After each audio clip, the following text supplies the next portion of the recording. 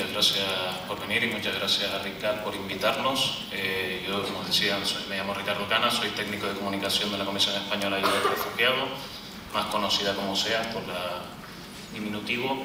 Y bueno, eh, como decía Miriam, pues sí, estamos realmente, creo que muy centrados ahora mismo en un tema que creo que nos atañe a todos. Creo que quizá estamos realmente, me, atrevo a decir, ante uno de los temas más acuciantes y más importantes en los que nos enfrentamos como sociedad y creo que como profesionales de la comunicación y el periodismo tenemos mucho que hacer. El título de la ponencia que me han eh, encargado se llama eh, La necesidad de un nuevo modelo informativo. Yo hablaré, hablaré un poco como eh, periodista, como vosotros que también estudian su día, pero sobre todo como profesional de la comunicación de la organización. De una, una organización que trabaja con, una, con personas refugiadas que precisamente son de las que ahora mismo están atacadas por los discursos de odio racista, no solo en Internet, sino a veces en determinados medios eh, considerados tradicionales. Eh, sí, sí.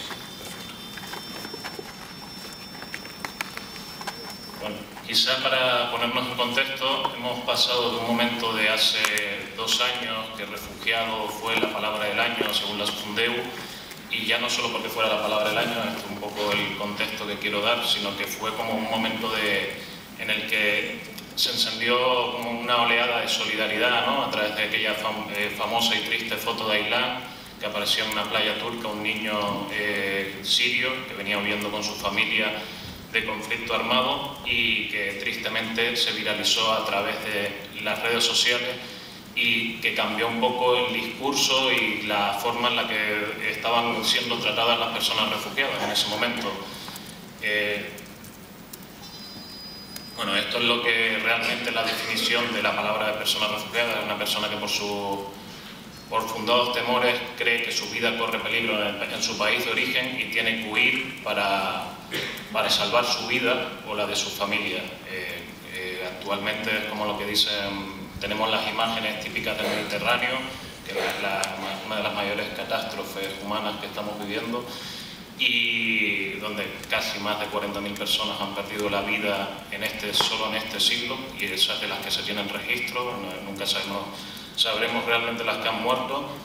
Y lo que, lo, lo que no tenemos claro es si realmente esas personas muchas veces si tuvieran realmente el, por política de derechos humanos, si hubieran tenido el, derecho a refugio que como tal les reconoce la Convención de Ginebra, muchas de ellas no, hubieran muerto y quizás en ese, como países y como sociedad europea tenemos una responsabilidad.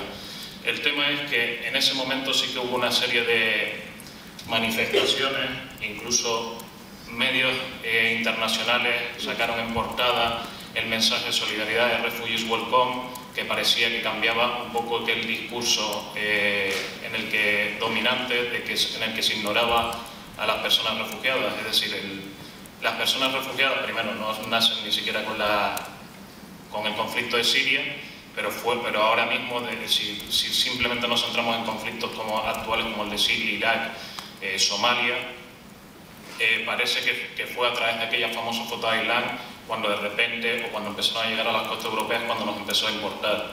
La realidad es que muchas personas estaban huyendo desde el 2011, desde el comienzo de la guerra, estaban en países vecinos, en campos de refugiados bastante masificados y que en un momento dado, cuando empieza a importar la opinión pública, es cuando empieza a llegar a las costas europeas. Pero, y esa famosa foto o, triste, al final lo que hace es cambiar el discurso y sí que incluso hasta cambia un poco de la política europea. Eh, los políticos europeos, líderes europeos, se empezaron a comprometer con unas determinadas cuotas de refugiados, que eran como muy mínimas, pero por lo menos decían como para tratar de reubicar, reasentar desde países vecinos y desde países europeos donde estaban llegando como Grecia, Italia y Hungría en su día, hasta eh, que se desmarcó de los acuerdos a reubicar eh, en, diferentes países de la Unión Europea a un cupo mínimo, pero supuestamente que iban a cumplir en dos años. Desgraciadamente esos dos años pasaron y ahora veremos que nunca cumplieron. Pasamos al año siguiente, a la era de la posverdad. Quizá esa, esa frase, eh, palabra famosa que se hizo, según el diccionario Oxford, fue la palabra del año también, post-truth del inglés, que es como, esta es la definición un poco más oficial, pero vamos, es un poco como lo que hablábamos antes de una mentira mil veces repetida se convierte en verdad y desgraciadamente últimamente lo estamos viendo. Quizá uno de los momentos clave que hemos visto este tipo de situaciones son en periódicos cuando hemos tenido acontecimientos tipo el Brexit en, Inglaterra, la victoria de Trump con titulares como las eh, deportaciones de migrantes, el eh, Víctor Orbán, que es el líder húngaro que desgraciadamente tiene bastante un dialecto bastante agresivo y, racista hacia las personas refugiadas. Y la última palabra del año, la más reciente, que hace una semana, es fake news, de, las noticias, no, en traducción fácil, las noticias falsas que están eh, en boga, están también en las redes sociales últimamente y es como y es quizás uno de los retos también de cómo saber combatir esas mentiras y esas medias verdades que se convierten en verdades absolutas y cómo desde como periodista o profesional de comunicación sí que hace falta un nuevo modelo informativo para que podamos eh, llegar por lo menos a un criterio más objetivo y tratar a las personas refugiadas como personas con derechos, sujetos de derechos y no sujetos pasivos de, solidaridad o compasión. Personas refugiadas o cualquier otro tipo de personas que se puedan sentir discriminadas por el, el odio o el discurso racista. Nosotros, como Comisión Española del Refugiado, eh, Comisión Española de Ayuda al Refugiado, pues quizás tenemos más conocimiento sobre lo que pasa a las personas refugiadas, pero se puede extrapolar a personas migrantes, a personas de, eh, que tienen una determinada discriminación y, que últimamente a través de las redes sociales están siendo agredidas. Pero a ver, quizá en esta en este evolución de posverdad, fake news, o sea, no es algo nuevo, es lo que vengo a ver. El papel de los medios tradicionales, desgraciadamente, también ha tenido ese tipo de titulares alarmistas de cuando llegan las personas refugiadas, como que nos, nos sentimos como en un momento dado como agobiados, como uy, que aquí estamos ante una crisis mayúscula, quizás. Por ejemplo, eh, titulares como este del país hace un par de años, que parecía que en Ceuta y Melilla estaban todos compinchados para venir a España, saltar la valla, esa sensación de, invasión que muchas veces, de hecho, eh, las oleadas migratorias, la presión, esa forma de, la alerta constante, ¿no? de parecer como que hay, en vez de personas como si fueran delincuentes, este titular del Faro de Melilla es muy, por ejemplo, decían que orines y escupitajos con ébola, fuego y piedras desde lo alto de la valla. Fue cuando el famoso caso de ébola que pues lo vincularon en cualquier salto a la valla como que, que los migrantes venían aquí a contagiar el ébola y amenazaban a los guardias civiles con el contagio de ébola.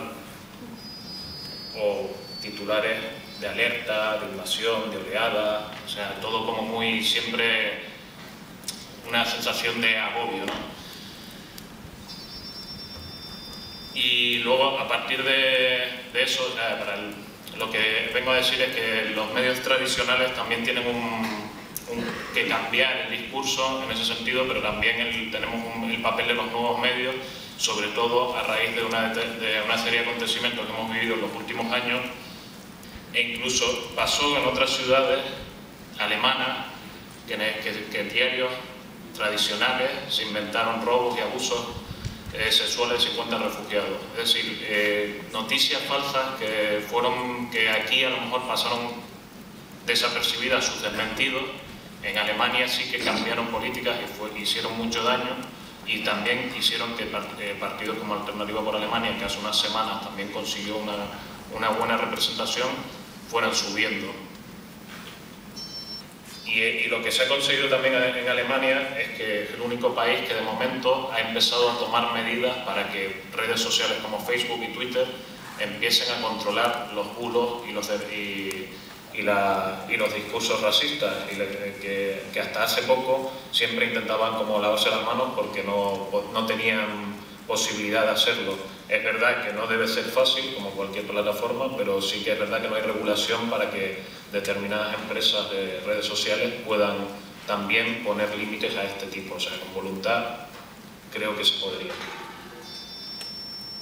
Incluso en este caso también eh, un ejemplo de los bulos que, que, han hecho a nivel ciudadano plataformas y organizaciones de allá de Alemania, se llama Volksmark, que era como eh, marcar en un mapa los bulos que, racistas que iban saliendo en relación a personas refugiadas.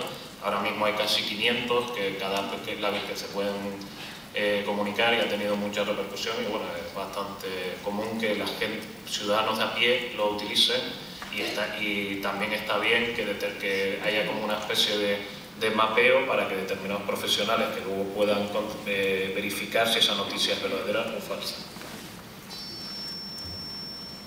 Esta frase de la revista 5W que hablaba sobre cómo controlar las noticias falsas en Internet, que era un artículo bastante interesante. Eh, creo que está bien, como es del, lo que era periodista antes de corresponsal, que iba, lo veía y lo contaba. Ahora hay mucho periodista también en la red que lo que hace es lo ve, comprueba y luego lo comparte. Desgraciadamente muchas veces se saltan el, el, el paso intermedio de comprobarlo, que lo ve y lo comparte sin contrastar. Creo que que como profesionales eh, en, este ámbito debemos tener mucho cuidado de todas las noticias que, que, salen en Internet y verificar bien cuál es la fuente, igual que lo podemos hacer en cualquier eh, noticia que, que hagamos a, pie de calle, también lo tenemos que hacer con tener mucho cuidado con las noticias que salen en Internet. Ahí, de, eh, de hecho, decían una noticia que salió hace un par de días de decía una investigación que para 2022 la mitad de las noticias que, habría en Internet serían falsas. Da un, un poco una, un dato de lo, lo, importante que es, más que nunca, intentar limitar esas noticias falsas para que no se vuelen en el imaginario colectivo y social. Eh, pongo que, por ejemplo, en la, eh, ellos ponían unas fuentes como que se llama Follow Me, bueno, podéis, habrá muchas, el tema es, por ejemplo, en las redes sociales, en Twitter, eh, buscar al usuario y ver exactamente un poco, te hace una, una estadística muy rápida de lo que ha hecho, ¿no? desde su primer tweet hasta la gente que sigue, si es para, sobre todo para controlar que no sean robots, que también eso está muy de moda últimamente para, como en las redes sociales parece que hoy día eh, se ve el grado de aceptación o de rechazo que puede tener un determinado artículo a través de likes y, o compartidos, también hay gente que compra robots para que puedan, para poder eh, dar la sensación de, de, apoyo. Eso pasó en la campaña de Donald Trump o pasa en muchas campañas políticas, quizá aquí también veamos en algún momento determinadas noticias al respecto, pero también pasa con muchos grupos de ultraderecha que, que, manejan bastante bien determinadas eh, tecnologías para dar una sensación de apoyo. Eh, contrastar esas imágenes también, eh, muchas veces en las redes sociales vemos imágenes que se van colando y que cuando sobre todo son muy virales cuando hay un momento muy tenso, muy fuerte, manifestaciones o un atentado que salen una imagen concreta, eh, hay herramientas eh, muy sencillas como las Google Images que tú si las compruebas para ver si esa imagen ha salido antes, si es por lo menos original del usuario que la comparte o quizás lleva cinco años rulando por la red. ¿no? Eh, eso ha pasado muy, a menudo de determinadas imágenes que que parece que están dando en el momento actual y que luego han pasado cinco años antes, pero las han vendido como que fue, eh, fue en el atentado de Barcelona o fue en el atentado de París, cuando de repente está ubicada en otro contexto o ubicada en, eh, en otro ámbito. Incluso con los incendios de Galicia últimamente también salieron muchas imágenes que parecía que eran de, Galicia y luego eran de otros incendios a nivel de, eh, en todo el mundo. Las noticias también, ver un poco la trayectoria, es lo que digo, pues una cuenta que es falsa se utiliza muchas veces, son mensajes automatizados que no tienen ninguna personalización, tenemos unos, o sea, hay maneras de saber que no estamos ante una, una cuenta que podamos fiarnos. entre eh, la campaña que decía Miriam, que bueno, en realidad todavía no puedo adelantar nada porque nosotros las campañas, no, eh, el jueves lanzaremos una campaña de, o sea, va a ser un poco más genérica, pero como es el Día para la Tolerancia, pues sí que intentaremos ver un poco, humanizar a las personas refugiadas tal y como son y lo que se encuentran cuando llegan a un país como España o un país europeo. Pero sí que tenemos también algunos eh, artículos preparados y es sobre claves para desmontar discursos racistas que nos hemos y es como típicas frases que nos llegan a través de las redes o que nos dicen la gente por ahí que es para eh, sobre las personas refugiadas. Aquí he hecho un, recopilatorio de unas cuantas, de, es la muy típica de acógeles en tu casa, es la típica de cuando eh, eh, la gente comparte de que quiero acoger o refugios welcome, hay muchos incluso bots que, que salen, acogen en tu casa, pues, pues venga, sí, muy bien, que vengan, pero los acogen en tu casa. Eh, para ello, para desmentir determinados bulos, primero eh, hay que ir al derecho internacional y a, a, todos los tratados internacionales que tiene firmado España como tal, y es, entre ellos que está la Declaración de Universal de Derechos Humanos, el concepto de personas refugiadas, en la Constitución Española, en la Ley de Asilo, eh, o sea, la Carta de Derechos Fundamentales de la Unión Europea. No es cuestión de solidaridad, es una obligación legal que tenemos como, como sociedad y en la que España, como país, ha firmado eh, para, que, para que se cumplan estos derechos, cosa que a día de hoy no, está, no están siendo garantizados en nuestras fronteras. Pero más allá de eso, eh, que también nos hace un poco de gracia como Comisión Española de Ayuda al Refugiado, que cuando compartimos contenidos en, redes sociales que nos lo digan a nosotros que los acojamos en nuestra casa, cuando es precisamente lo que pretendemos, es que, también ese tipo de, de, acogida no se debe hacer en casas particulares, primero porque se tiene que hacer con recursos especializados. Estamos hablando con personas que vienen con muchos traumas psicológicos, con muchas que tienen que llegan a un país nuevo, de unas realidades muy duras y muy difíciles y, tienen que eh, tener, una convivencia con personas, que, trabajadores sociales, con psicólogos, con traductores, cosa que en casas particulares lamentablemente no se puede controlar ni sabemos quién, las capacidades de la persona a la que la coge. Esto es hablando de una primera acogida, ya cuando la persona refugiada lleva aquí el, el periodo de primera acogida, pues es libre de, poder moverse como libremente. Otra, la de se infiltran terroristas, es la típica que veíamos antes. y lo que vemos es que después de una, agresión islamófoba se quintuplican eh, los atentados. Eh, luego también lo que intentamos decir es que muchas, precisamente las personas refugiadas lo que están es huyendo terror y la violencia en sus países. O sea, son quizás, y y por ejemplo, ahí, para atrás.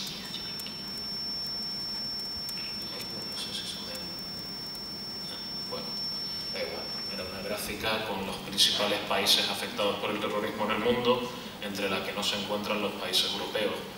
Eh, son Somalia, Irak, Afganistán, Siria, eh, países de donde precisamente huyen las personas refugiadas, no solo por el terrorismo, sino por conflictos armados eh, muy fuertes, pero quizá parece que cuando hay un atentado en Europa es cuando nos, nos damos cuenta de, la violencia y del terrorismo.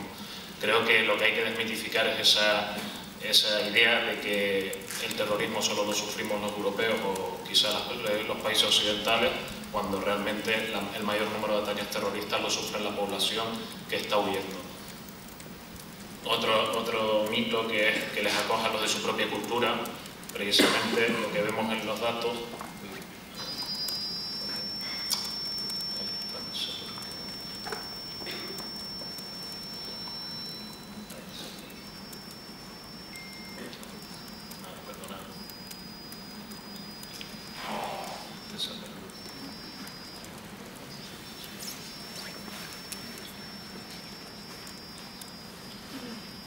Una gráfica también de principales países de acogida, en la que el principal país europeo está en el, séptimo, en el octavo lugar. Los otros países más, de más acogida son Turquía, con casi 3 millones de personas de refugiadas, eh, Líbano, Jordania, eh, incluso países africanos que están cerca de, que, sufren guerras, tipo Yemen, que coge a su vez eh, países como Somalia o Eritrea, que huyen a través de la ruta del Cuerno de África y tienen que, y tienen que pasar por, por diferentes países en conflicto para intentar huir.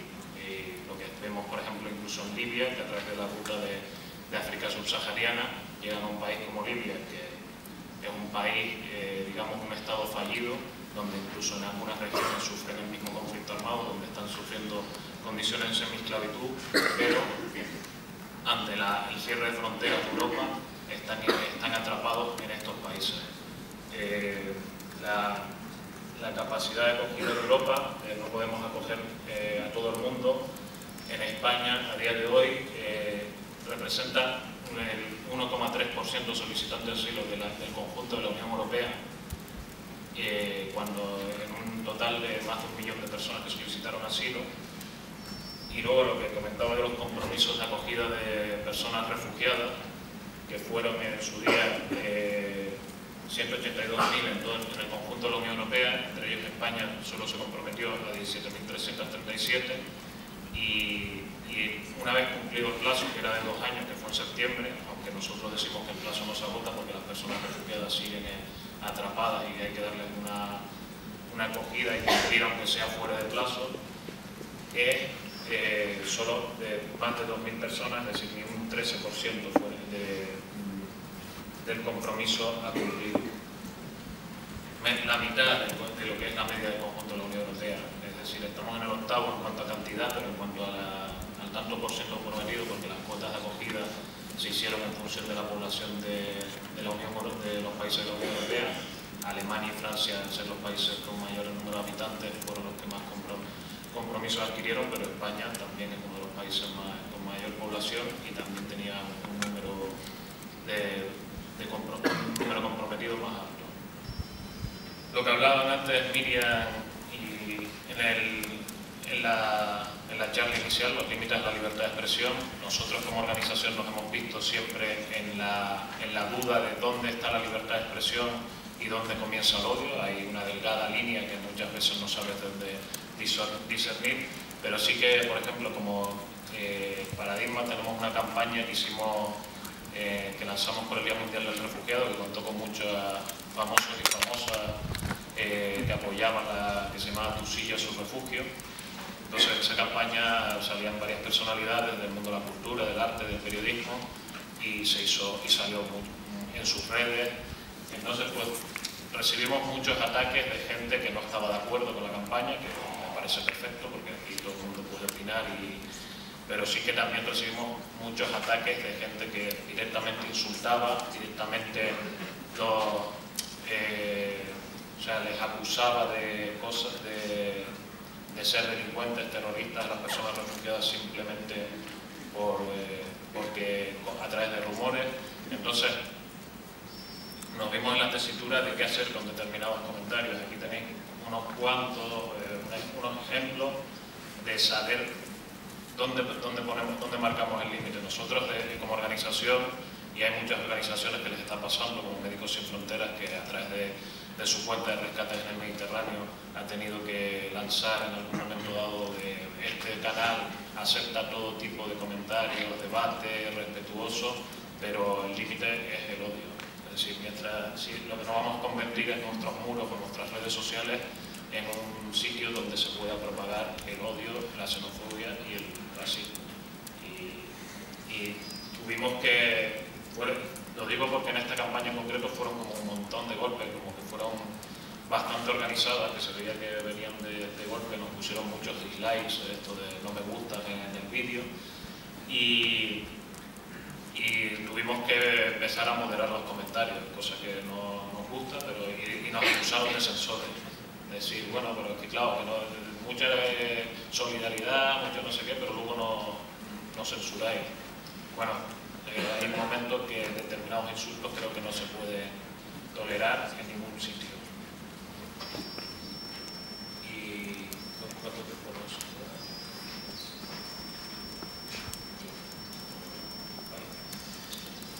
Sí, lo necesitamos. Eh, algunas redes, para, eh, plataformas que salido últimamente para luchar contra el racismo. De hecho, hay cada vez más. Yo creo que a través de en este seminario se tocarán algunas de ellas. Yo he hecho una selección, por ejemplo, que podéis ver de Racismo, por ejemplo, fue una plataforma en la que están implicadas varias organizaciones y creo que puede ser interesante como tienen el hashtag de racismo, su cuenta de Twitter y son muy activos para desmontar ese tipo de discursos que salen a veces en los medios y en las redes sociales. Eh, luego tenemos la European Network Against Racism, que, que es una plataforma europea pionera en cuanto a los discursos de odio eh, racista. Eh, es una plataforma en la que SEAR está, se ha metido, de momento al ser muchas organizaciones racistas tampoco hay una, eh, una comunicación muy fluida en, su web, pero sí que es un servicio de asistencia a las víctimas de discriminación racial y étnica que también se, le, en principio está hecho más que nada para que las personas que sufren discriminación por motivos de raza o etnia puedan llegar a, este servicio y, denunciarlo. A la larga se tiene intención de que también pueda ser un servicio que podamos eh, hacer mayores comunicaciones. El juicio de islamofobia, que también ha salido eh, para desmontar discursos de islamofobia, que también ahora últimamente son muy recurrentes y etiquetas en Twitter que también son interesantes, que podáis, eh, incluso cuando compartís vosotros contenidos para eh, limitar ese tipo de, discurso racista, pues eh, hay, una, hay muchas, he hecho una selección pequeña de estos racismo, islamofobia, hate speech, inmigracionalismo, que es una campaña que hicieron los de, las compañeras de Red Acoge, que esta tarde creo que hay, quedan en taller de temas de audiovisuales que seguramente os contarán también cómo intentado ella dar este tipo de inmigracionalismo es más de, hecho eh, está más relacionado con periodismo. Es decir cuando hay un eh, discurso eh, un titular alarmista pues se basa en detectar ese tipo de titulares e irlo recopilando para intentar cambiar ese tipo de, de malas prácticas que a veces muchas veces no se hacen a propósito sino que se hacen a veces incluso los periodistas cuando no están muy especializados en la materia, pues lo hacen por inercia. Entonces, pues quizá también como organizaciones tenemos la capacidad de cambiar un poco el tratamiento informativo que se hace de, nuestra, de los usuarios y usuarias de nuestras organizaciones. Algunas imágenes que valen más que mis palabras racistas, en este caso, por ejemplo, no sé si recordáis esta imagen de esta imagen se hizo muy viral en internet y es de una chica que simplemente había una manifestación ultra en el Reino Unido y eh, estaban atacando a una chica que llevaba un velo. Y esta chica pues, se enfrentó un poco a, un grupo de manifestantes bastante grande, se enfrentó y se hizo bastante famosa porque fue como, bueno, se puede combatir el el discurso de odio también a través de la sonrisa. Como este tipo de imágenes seguramente muchas veces tendremos temas eh, eh, a nuestro alcance, entonces eh, como contamos con determinados recursos visuales que también son potentes, quizás este tipo de imágenes nos ayuden a desmontar esa idea de que el racismo o la xenofobia es mayoritario, porque pese a que diga que el auge del racismo y la xenofobia es cada vez más alarmante, creo que somos bastante más mayoría los que realmente no, no congeniamos con este tipo de discursos. Esta imagen también se hizo muy viral, esto fue en el atentado de Barcelona, el, imán de, de Rubí, una localidad cercana a Barcelona, abrazado por uno de los padres de las víctimas de un niño de tres años del atentado de Barcelona. Esta imagen imágenes como esta a veces ayudan más a desmontar ese tipo de acusaciones de eh, decir que simplemente por eh, ser musulmán eres terrorista o ser persona refugiada eres terrorista, que a veces miles de artículos que saquemos en, el, eh, en la prensa diaria. Mm, luego tengo este vídeo de SOS Racismo, que no sé si nos da tiempo 감사합니다.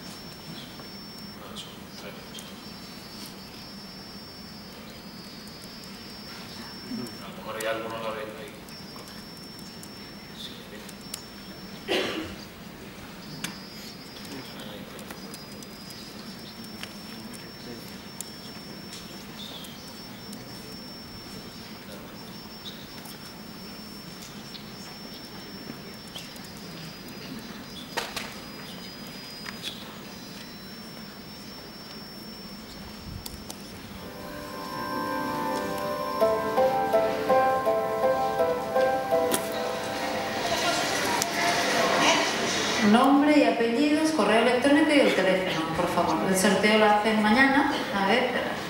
Hola. Me han dicho que hay un sorteo aquí. Es un sorteo para unas noches de, de spa en, en un hotel. Ah, ¿me puedo apuntar? Es que no nos, no nos quedan boletas, ¿sabes? ¿Pero es esto? Nos, pero no nos quedan. Eh, yo no, no entiendo. ¿Sabes qué pasa? Que está pensada para otro tipo de público. Para gente de aquí, gente normal que va a estos sitios. Vosotras no vais a estos sitios. Mm, ¿Este señor sí que puede eh, firmar? El señor sí. ¿Tú no? Sí. Claro. Esta señora no me deja firmar, señor. ¿Eh? La señora no me deja firmar. ¿Usted no encuentra normal eso, señora? A ver, Yo quiero firmar. ¿Por qué yo no puedo firmar? Pero usted piensa que es normal lo que está haciendo.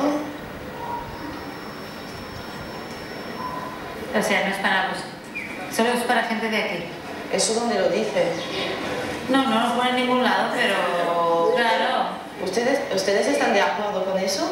Gracias. Yo no te voy a decir nada, lo que ellos digan, no hay ningún problema. Usted Claro. ¿por qué está- ¿por qué está de acuerdo? Esto es lo que me han dicho. Sí, sí, estoy de acuerdo, pero me han dicho, lo has dicho por algo. ¿Y Claro. por qué será? Yo quiero firmar. Esta no te va a dejar porque quiere poner, esta es como ella tiene su estudio y estos son los son los. Entonces estos ya quieren revolucionar. Nosotros hemos ido evolucionando. Vosotros os queda la piedra. Pero es que no, no me deja Es que no me quedan más. No me quedan más. Si es una cosa de aquí. Claro. La señora que ha salido tiene razón. Si vas a su país, como ahora vayas con velo, tienes que. Es verdad. ¿Sabes qué pasa? Es que es como para otro tipo de gente, otro tipo de público. ¿Sabes? No. Perdona, ¿eh? Sí. ¿Por? La cosa es, estamos acostumbrados a estas cosas entre nosotros, entre gente normal, que nos entendemos que... Perdona, gente normal también es ella. Tú a lo mejor eres la extraña.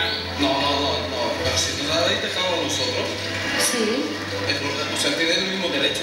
Yo entiendo. Ah, ¿Puedo participar? Le estoy preguntando si puedo participar. ¿Cómo? Ah. No, no.